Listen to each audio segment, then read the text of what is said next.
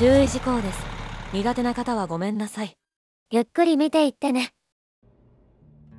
こんにちはアリアルですミリアルだよ。前回の動画のご視聴ありがとうございましたございましただよ。前回はミリアルがギャラップまでダブルスの荷物を運びました意外と小回りが効いたから、バック駐車がなければ配送は簡単だよ。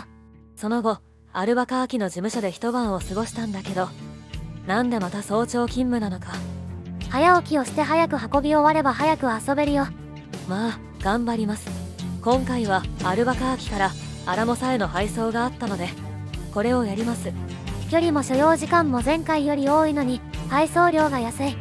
まあ前回が特殊配送フラグが多かったからねまあタコのお店か完全にトラウマになってるね。わやわや。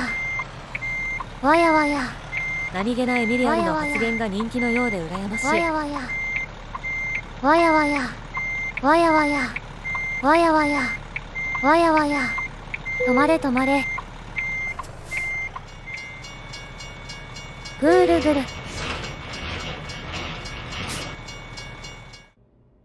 前回のアリアルを真似してブリーフィングだよ。今回は、少しだけ、週間高速40号、その後週間高速に15号だよ。今までと異なり、国道160号を通るから、一般道も少し走るよ。了解それじゃ出発しようすっかり音楽の再生忘れてた。ポチッとな。規則的な4つ打ちバスだからハウス系かな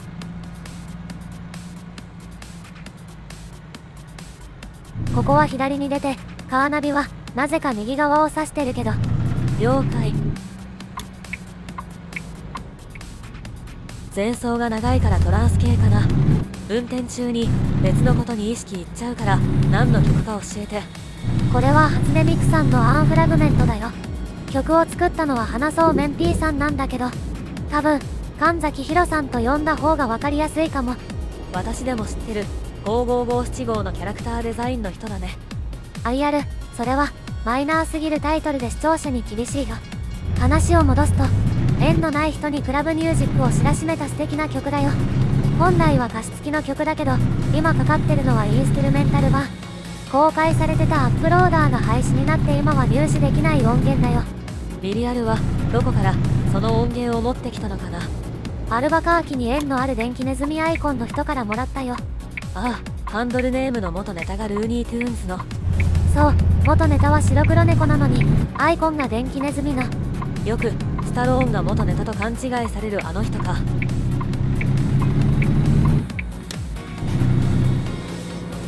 分岐を、右側、すぐに左側だよ。間髪入れずに分岐が入るからカーナビなしだと間違えること確実そういえばルーニー・テューンズとアルバカーキの話だけど作中ではアルバコイキって呼ばれてるね言われてみれば、アルバカーキとは言ってなかった気がする。そういえば、私たちは、訪問した街の紹介してないけど、やる。ルーニー・テューンズが絡むならまだしもやめておこうアリアル、重度の獣疑惑。こらこら変な疑惑を立てないそろそろサンタフェだね。今調べてみると、ニューメキシコ州の州都らしいよ。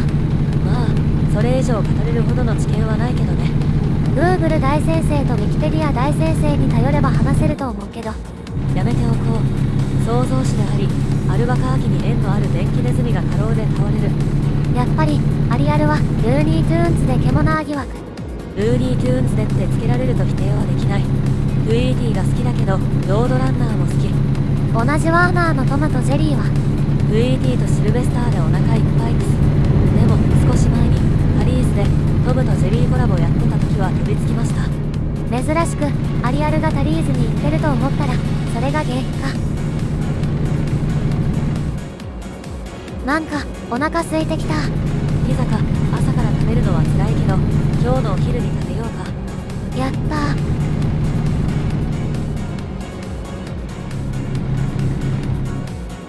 Welcome to コロラド。そして歓迎会。まあ州境だから仕方ないさ。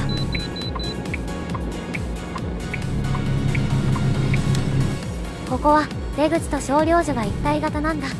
前回ミリアルが停車するの嫌だって言ってたがここは2回も停車を強いられるね。私が運転するときは絶対呼ばれたくない。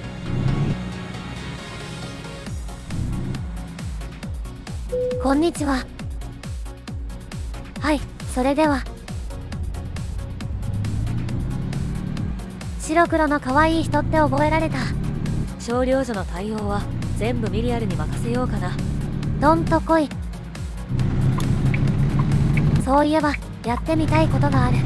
ああコメント返し。まだ目的地まで距離あるしやってみよう。やったぜ。最初はウポ使うね長らく視聴者側の立場だったので自分が言われる立場になるのは斬新とのこと。次はパイロット版からジェイコと女子は勘で。ひどい初仕事を斡旋した人。まあだ手に持ってる。ジョシュアは社員番号ナンバー6でナンバー1はフィリップさんです。厳密にはナンバー1はプレイヤー自身なのでナンバーにだけど多分社員番号のことじゃないと思うけど。ちなみに社員リストを見せてもらったらマックスさんもいました M もここではフル株社員だね。続いてはパート1からアリアルの駐車チャレンジから。アリアルが人気で嬉しいよ。どうしてこうなった？次はパート2から早起きについてのコメント。香港で。早く仕事を終わらせて午後から遊びに行けるので。意外とお金を使っちゃってる気がするよ。まさかお給料全部使っちゃってないよね。てへってろ最後にパート2のこれネットに出てた3本のシフトノブの画像ほどではないけど一足ロー一足ハイみたいに細かく設定できるみたいだね。めたい話だけどシフターがあるのにオートマ用に3足と4足しか使ってないよ。自動調整で18足を無理やり6足に収めるから効率が悪いらしい。比重製品の部品を使えば18足でプレイできなくはないけど改造を伴うので18足マニュアル操作は行わない予定です。こんなところかな。気になるコメントがあったらいつの人返すよ。そして気づけば週間高速を降りて国道160号のエリアだよ。確かマップを見ると峠道になってたから気をつけてね。了解。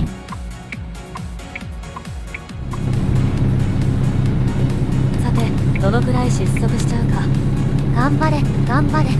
一部の人に受けそうだね。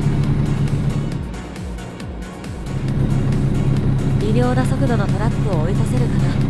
前回ポンコツって言っちゃったけど65マイルイスで走れてるね。すっごい。そのネタはもう賞味期限切れだよ。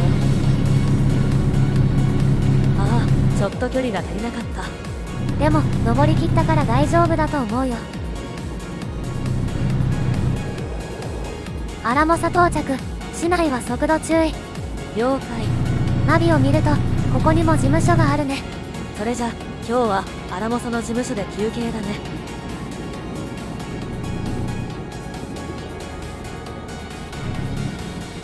事務所の近くにトラック修理店があるね。少量所のおっちゃんが整備はちゃんとやってねって言ってたね。今回の仕事が終わったら一度チェックしてもらおう。これには少量所のおっちゃんもにっこり。2車線の一方通行の道だ。アメリカに来てからは初めて見るかな。そして残り1マイル程度やっと配送先か。今回は広い場所だといいね。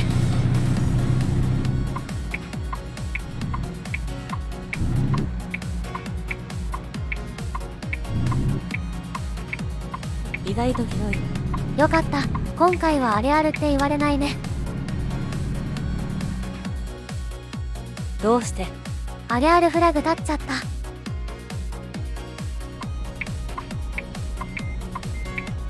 前方は余裕なし壁際に寄せるパターン。これは私が担当しても泣きを見るパターンだよ。どうしてこうなった？アリアルの心が折れる前にネタ発言でどうにかしよう電気ネズミの人を音楽の残り時間気をつけて。アリアルあと少しだよ。ああれ。絶望的配置だったのに。絶望しながらここまで来たんだから。すごいよ。なんか記憶が抜けてる気がするけどまあいいか。ちょっと曲がってるから次回は気をつけよう。まだ2人合わせて通算で3回目だし仕方ない仕方ないぐるぐる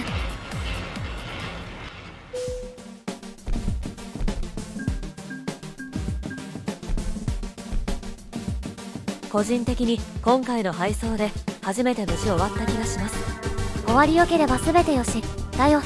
駐車中の記憶が一部ないくらい疲れてるようなので今日は事務所で休みます。アリアルが疲れてるようなので事務所までは私が運転するよ。それではご視聴ありがとうございました。マスター今回の私のメタはアリアルには秘密だよバイバイ。